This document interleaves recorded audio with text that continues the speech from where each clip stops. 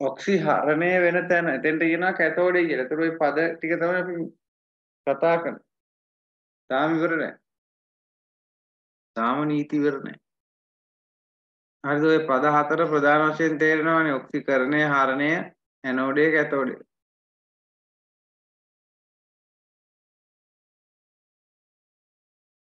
හරි. දැන් අපිට මතක ඇති සරල කෝෂය ගත්තොත් සරල කෝෂයේ තියෙන මෙන්න මෙහෙම ඇටෝමක් නේ. මෙහෙම ඉන්නවා ස්ට්‍රින්ග් තහඩුවක්. මෙහෙම ඉන්නවා කොපර් තහඩුවක්. මෙතනින් බල්බයක් දාන්න.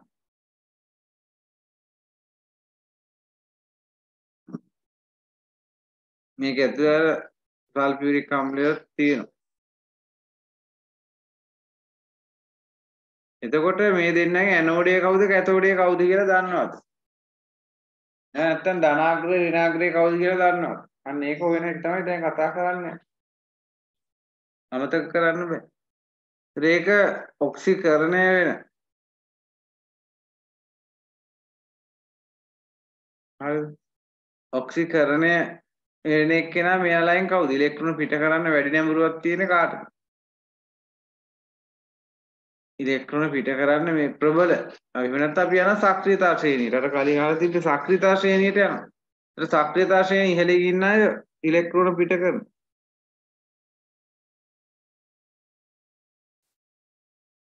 හරිද? ඒතර මේ දෙන්නගෙන් සක්‍රියතා ශ්‍රේණිය ඉහළ ඉන්නේ සිංක්. ඒතර සිංක් තමයි මෙතන ඇනෝඩේ වෙන්නේ. සිංක් තමයි ඇනෝඩේ වෙන්නේ. ඒතර කොපර් කියන්නේ ඔක්සිහරණය වෙන තැන. ඔක්සිහරණය වෙන්නේ යම් තැනකද එතන කැතෝඩේ කියලා කියනවා. ඒතර ඒක අඳුර ගන්න මෙන්න මේ නීති අනිවාර්යෙන් පාඩම් වෙලා තියෙන්න ඕන.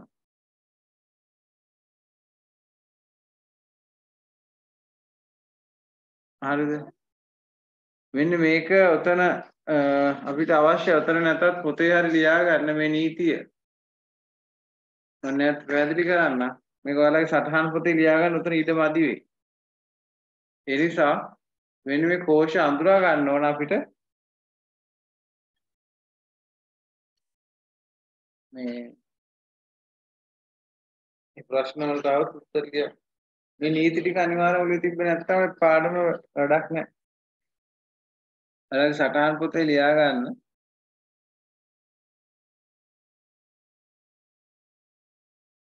කොහොමද ඇනෝඩයක් කොහොමද කැතෝඩයක් හඳුනාගන්නේ කියලා.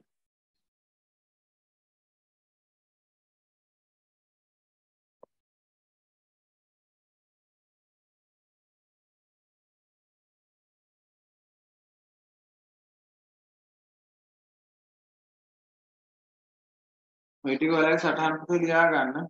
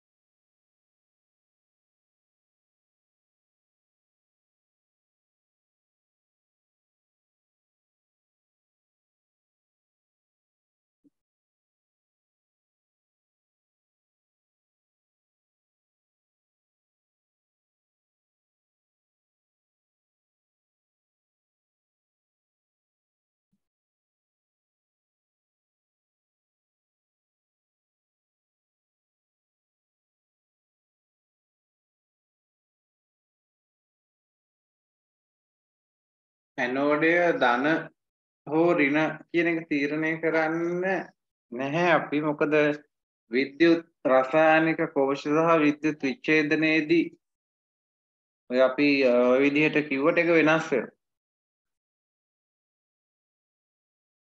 ඒ නිසා ඒ විදිහට පාඩම් කරගන්න එපා. ඔක්සිකරණය වෙන තැන කොතනද එතන ඔක්සිකරණය වෙන තැන තමයි ඇනෝඩේ. ඔක්සිහරණය වෙන තැන තමයි කැතෝඩේ. එතන කටකෝක පාඩම් කරගන්න ගියොත් අපිට වෙන වෙනමම විද්‍යුත් රසායනික කෝෂ වලට සහ විද්‍යුත් මේ මේ විච්ඡේදනය කියන ක්‍රියාවලි දෙකට වෙන වෙනම ඇනෝඩය ධනද ඍණද කියලා මතක තියාගන්න වෙනවා.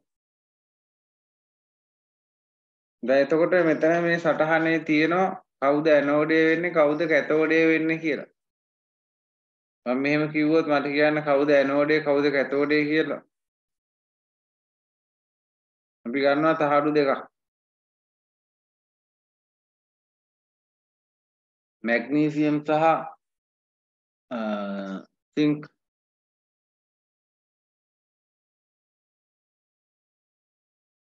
මැග්නීසියම් සහ සිංක් ගන්න. ඒතර මේ දෙන්නගෙන් කවුද ඇනෝඩය කවුද කැතෝඩය?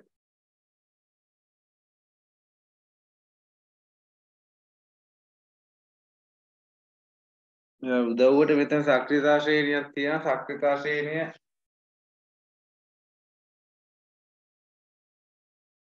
නැතුව මේක අපිට කරන්න බෑ. විද්‍යුත් විච්ඡේදන පාඩුවේදී සක්‍රියතා ශ්‍රේණියක් අවශ්‍යයි.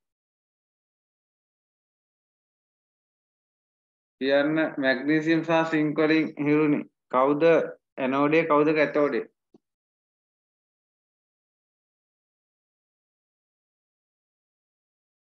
මැග්නීසියම් ඇනෝඩය සිංක් ඔව් මැග්නීසියම් තමයි ඇනෝඩේ මොකද එයා තමයි සක්‍රියතා ශ්‍රේණියේ මේ දෙන්නගෙන් ඉහළින් ඉන්නේ. ඉහළින් ඉන්න එක්කෙනා ඇනෝඩය පහළින් ඉන්න එක්කෙනා කැතෝඩේ.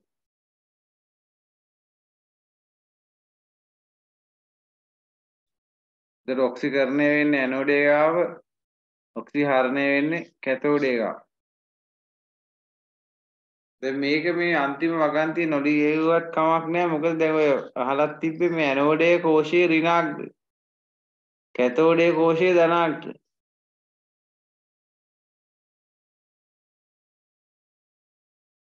හරිද? එතකොට මේ ඔක වෙනස් වෙන්න පුළුවන්. විද්‍යුත් විච්ඡේ විද්‍යුත් විච්ඡේදන ක්‍රියාවලියේදී ඔක වෙනස් වෙනවා. ඒ නිසා ඔක කටපාඩම් කරගන්න එක සුදුසු නැහැ. දැනගන්න ඕන ඇනෝඩේ ගාව ඔක්සිකරණයක් වෙනවා කැතෝඩේ ගාව ඔක්සිහරණයක් වෙනවා. ඒ අනුව තමයි හොයන්න ඕන.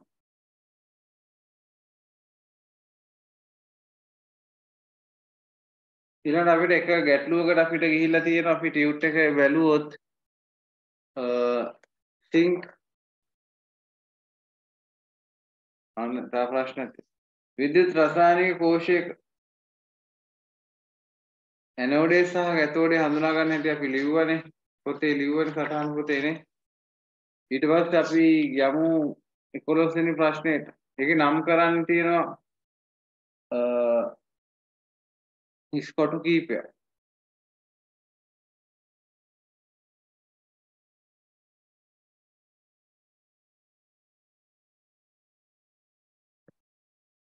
මෙන්න මෙතන නම් කරගන්න මේ පහලින් තනුක සල්ෆියුරික් අම්ල. මෙතන තියෙන්නේ මොකද්ද? තනුක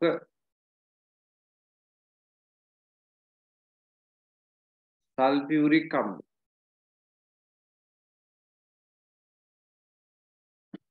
අනිත් දෙන්න දන්නවනේ සිංක් තහඩුව මෙතන සිංක්. මෙතන කොපර්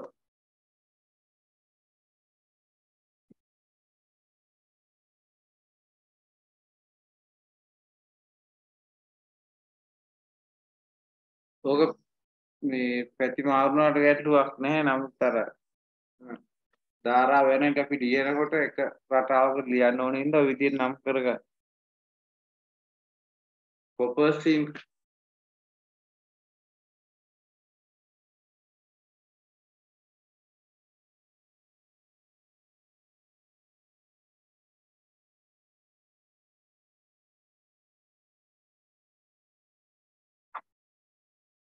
හරි. දැන් ඔක්සිකරණය වෙන්නේ කවුද කියන්න? ඔක්සිකරණය වෙන්නේ ඇනෝඩේ. එතන මෙතන ඉන්න ඇනෝඩේ අපි ගත්තොත් කවුද මෙතන දෙන්න ඇනෝඩේ කවුද? කොපර්ද සිං මෙතන ඉන්න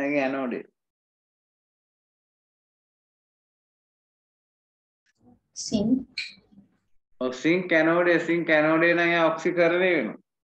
ඒත් දැන් අපි දන්නවා සිංක් ඔක්සිකරණය වෙන ප්‍රතික්‍රියාව. මොකක්ද වෙන්නේ? සිංක් අපි ලිව්වා මීට කලින් අවස්ථා දෙකකදී. ඒ සිංක්ගේ ඔක්සිකරණ ප්‍රතික්‍රියාව කොහොමද ලියන්නේ? සිංක් ඉන්න පරමාණු විදියට සිංක් මෙන්න මේ විදියට ඉලෙක්ට්‍රෝන මොකද කරන්නේ? ඉලෙක්ට්‍රෝන පිට කරනවා කිව්වා පිට කරලා සිංක් අයන බවට පත් වෙනවා.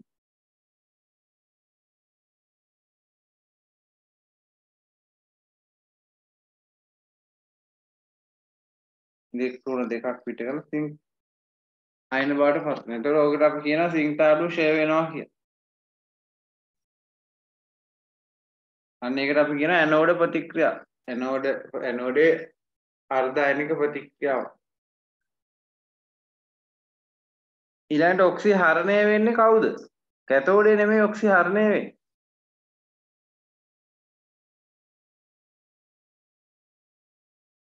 කවුද ඔක්සි හරණය වෙන්නේ මේ ද්‍රාවණයේ ඉන්න එක්කෙනෙක්. කවුද ද්‍රාවණයේ ඉන්නේ? ද්‍රාවණයේ ඉන්නේ තනක සල්ෆියුරික් අම්ලය. ඒතර සල්ෆියුරික් අම්ලයේ කොටස් වලට අපි කැඩුවොත් සල්ෆියුරික් H2SO මොකද කලුටෝ කියවනේ. මේ ද්‍රාවණයේ ඉන්න හයිඩ්‍රජන් අයනයි සල්ෆේට් අයනයි. එතකොට මේ ද්‍රාවණයේ ඉන්න හයිඩ්‍රජන් අයන තමයි ඉලෙක්ට්‍රෝන දෙකක් අරගෙන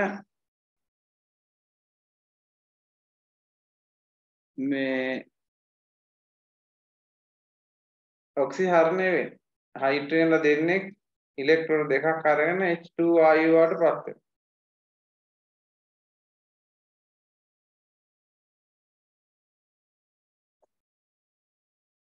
ඊට පස්සේ ඉලෙක්ට්‍රෝන කොතනද තියෙන්නේ? ඉතින් ඔක්සිකරණය වෙන ප්‍රතික්‍රියාව දන්නවා එන්න නැතිව තමයි ඉලෙක්ට්‍රෝන ගොඩ ගහලා තියෙන්නේ. මේ තහඩු ඉලෙක්ට්‍රෝන ගොඩක් රැඳිලා තියෙනවා. ඒ අර ද්‍රාවණ කරනකොට ඉලෙක්ට්‍රෝන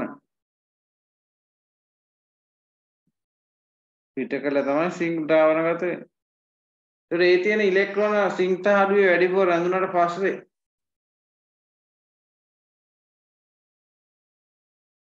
මේ ඉලෙක්ට්‍රෝන මේ බාහිර පරිපථය හරහා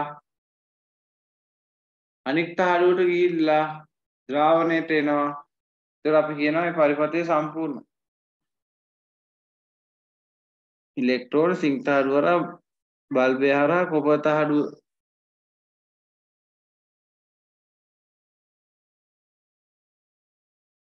හා එතකොට එතන අයනික ප්‍රතික්‍රියා දෙක දැන් අපි අවස්ථා තුනකදී කතා කරා සිංක් සහ හයිඩ්‍රජන්ම තමයි වෙන්නේ. වෙන කවුරුත් නැහැ.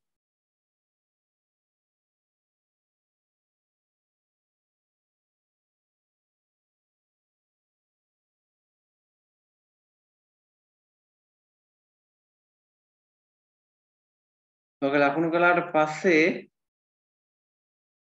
අපිට තියෙන රූප සටහනක් හඳි.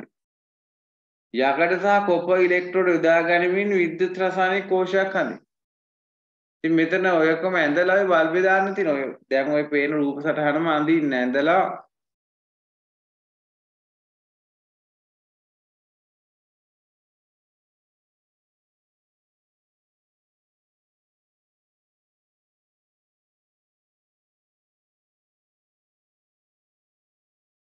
මේක වෙනස් කරගන්න ඔයාලා ගන්න ඕන යකඩ සහ මොනවද? කොප. ඒතර ඇනෝඩේ කැතෝඩේ කවුද කියලා අඳුර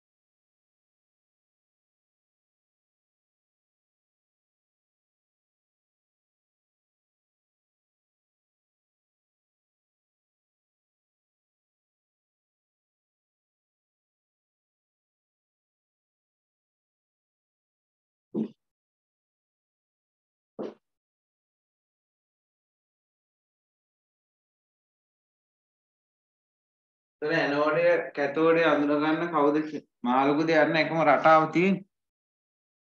කවුද ඇනෝඩය කියන්න බලන්න. ඔයාලගේ ටියුට් එකේ අහලා තියෙන්නේ යකඩ සහ කොප පාවිච්චි කරනවා. කවුද ඇනෝඩය?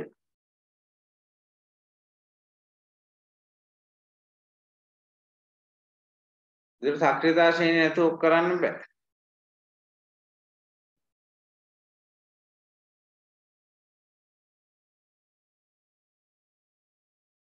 රැක් ඉවරක් තියෙනවා.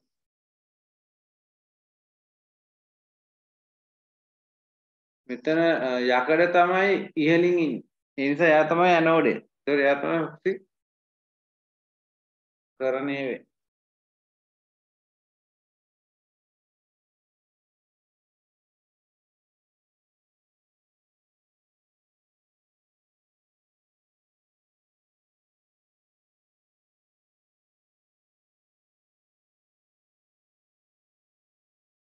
මේ ඇනෝඩ ප්‍රතික්‍රියාව. එතන ඔයාලගෙන් බලන්න යකඩ ඉන්නවා. එයා ඉලෙක්ට්‍රෝන පිට කරලා යකඩ අයන බවට පත් වෙනවා. ඔන්න හයිඩ්‍රජන්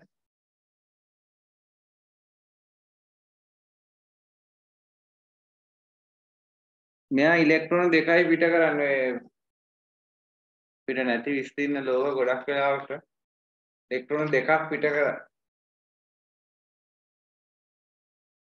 ඒ රෝගකට අපි කියන ඇනෝඩ ප්‍රතික්‍රියාව කියලා. රෝග තමා ලියා ගන්න ඇනෝඩ ප්‍රතික්‍රියාව. අපහැදිලි නම් ගත්තම ප්‍රතික්‍රියා ටික නැවත නැවත ලියලා පුරුදු වෙන්න. ඒ ප්‍රතික්‍රියා ටික යකඩ වලට සිංක් වලට අදාළව ලියලා පුරුදු වෙන්න.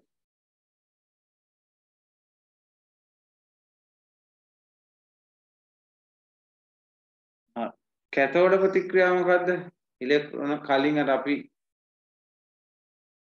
ලියපු ඒවාක් තියෙනවා මෙතන. මේ තියෙන හයිඩ්‍රජන් නේ. එයා ඉලෙක්ට්‍රෝන අරගෙන ඔක්සිහරණය හරණය වෙලා හයිඩ්‍රජන් පරමාණු හැදෙනවා. එතකොට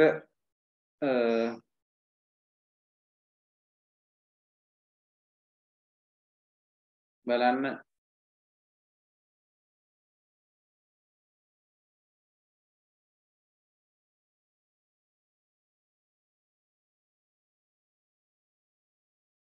යකඩ ඉලෙක්ට්‍රෝඩය දිය වෙනවා කොප ඉලෙක්ට්‍රෝඩය අසලින් වායුබුරු පිට වෙනවා. නිරීක්ෂණාත්මක මොන ඕවා ටික ලියන්න ලියන්න නැතුව බෑ.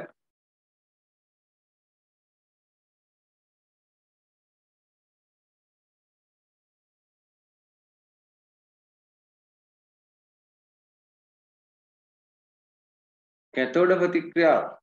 කැටායන කැතෝඩයට එනවා.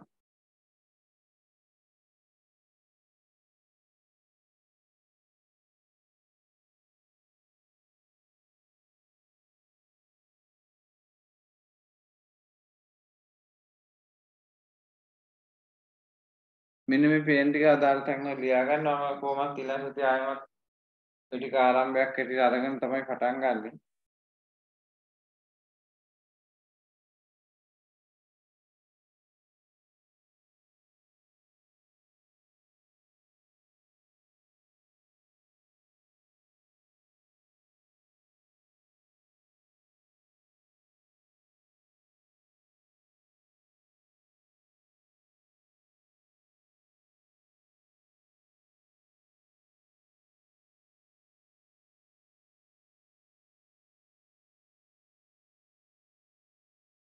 ඇනෝඩ ප්‍රතික්‍රියාවයි කැතෝඩ ප්‍රතික්‍රියාවයි ලියා ගන්න පුළුවන් නම් බලන්න තව පොඩි පොඩි ඒවා.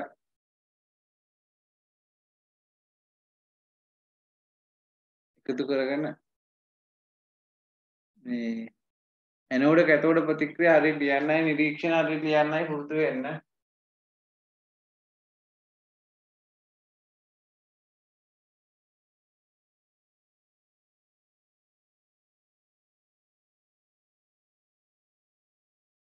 හරිද ඒක? ඊළඟට උතනින් ඔයාලගේ ටියුට් එකේ විද්‍යුත් රසායනික කෝෂ ඉවර ඊළඟට විද්‍යුත් විච්ඡේදනයේ තියෙන්නේ.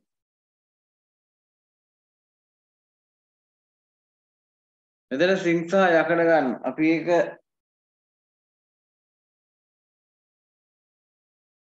සිංක් සහ යකඩ ගත්තා.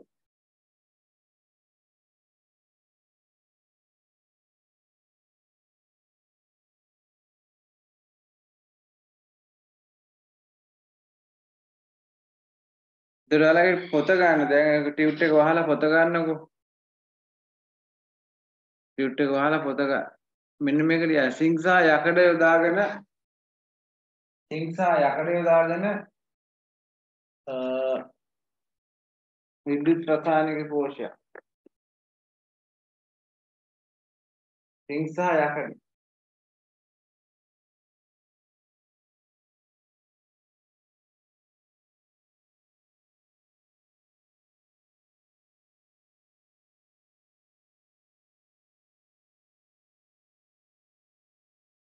සිංසා යකඩ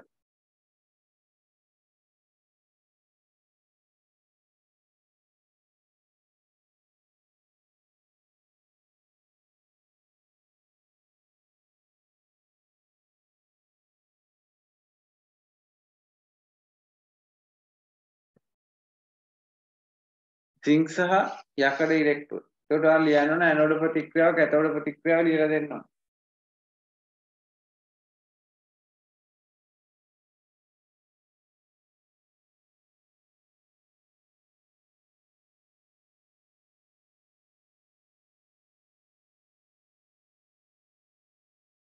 දැන් ලියන්න. කවුද ඔක්සිකරණය වෙන්නේ කියන්නේ සිංක් සහ යකඩ ගත්තාම?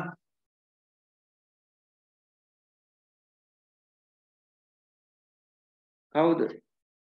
ඔක්සිකරණය වෙන්නේ කවුද?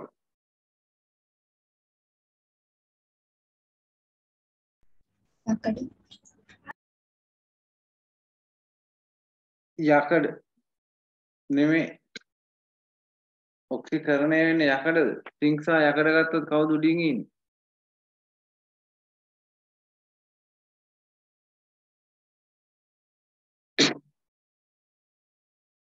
සිංක් තමයි ඔක්සිකරණය වෙන්නේ. සිංක් තමයි යකඩ වලට උඩින් ඉන්නේ.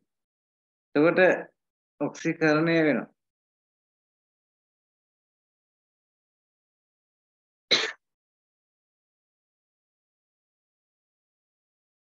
ලියන්න සිංගේ ඔක්සිකරණ ප්‍රතික්‍රියාව දන්නවනේ දැන් අමතක කරන්න එපා. සිංක්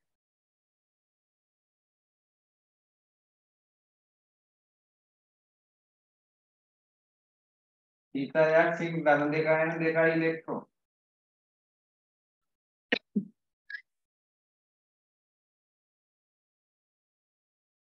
ලියන්න දන්නව නේද? සිංක් ඊතරයක් සිංක් ධන දෙකයි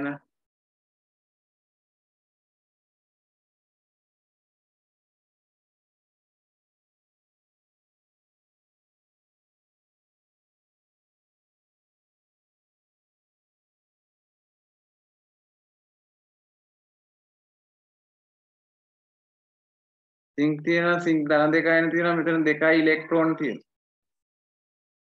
මේ ප්‍රතික්‍රියාව තමයි ඔතනදී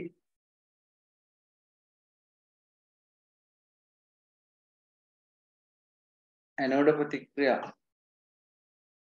කැතෝඩ ප්‍රතික්‍රියාව මොකද්ද? ඔක්සිහාරණ කැතෝඩ ප්‍රතික්‍රියාව.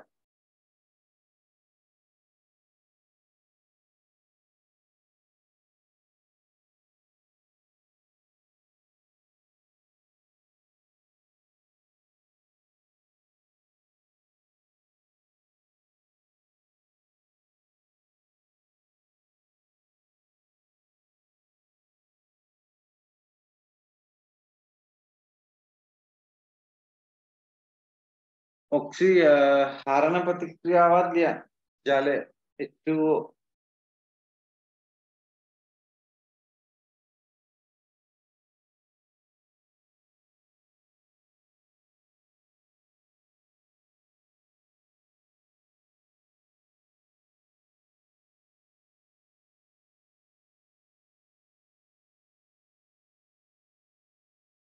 එතකොට ඔක්සික් හරණයේදී යකඩ එන්නේ නැහැ.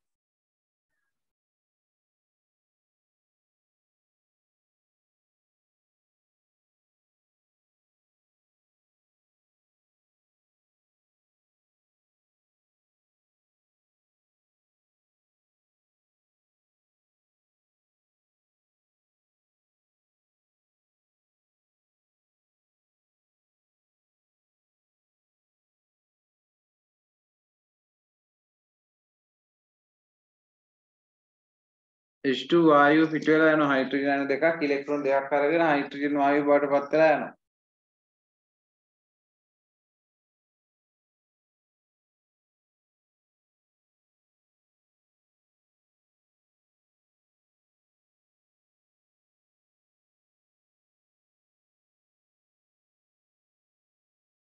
හරි. එතකොට ඔය දෙන්න එකතු කරලා අපිට අවසාන ප්‍රතික්‍රියාව ලියන්න පුළුවන්. අවසාන ප්‍රතික්‍රියාව මෙන්න මේ විදිහට බලන්න. මෙතන ඇනෝඩ ප්‍රතික්‍රියාව.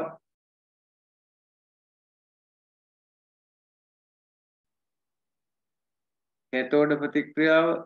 හැමතැනම හම්බෙච්ච එක.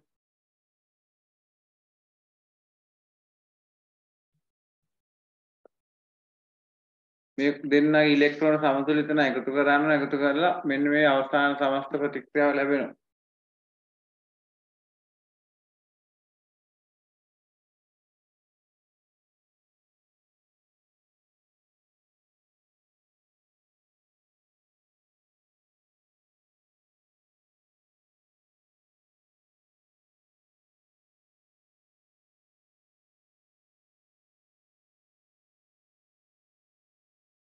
මෙතින් මේක අපිට ගන්න පුළුවන් සමස්ත අයනික ප්‍රතික්‍රියාව විදියට.